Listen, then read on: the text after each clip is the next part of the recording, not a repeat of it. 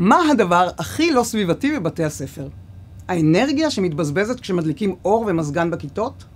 בזבוז המים כששוטפים פנים אחרי הכדורסל בהפסקות?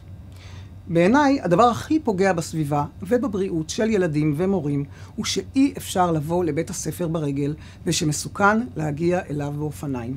זה קורה בגלל שבתי הספר רחוקים מבתי המגורים, וגם כשהם קרובים, הדרך אליהם עוברת בכבישים מסוכנים. לכן ההורים מסיעים את הילדים בבוקר במכוניות ויוצרים את הפקקים שכולכם מכירים. תשמחו בוודאי לשמוע שהמשרד להגנת הסביבה והמועצה לבנייה ירוקה מעודדים בימים אלה הקמת בתי ספר ירוקים. האם הם קוראים לאיסור בנייה של קריות חינוך שמרחיקות את בתי הספר לשולי העיר ומחסלות כל סיכוי להגיע אליהם בדרך בריאה? לא. האם דורשים נתיבי אופניים בטוחים עם צל בכל הדרכים שמובילות למוסדות החינוך? לא. האם מחייבים מקומות חנייה לאופניים של הורים בגני הילדים, או נקודות קשירה בטוחות לאופניים של תלמידים בחטיבות הביניים?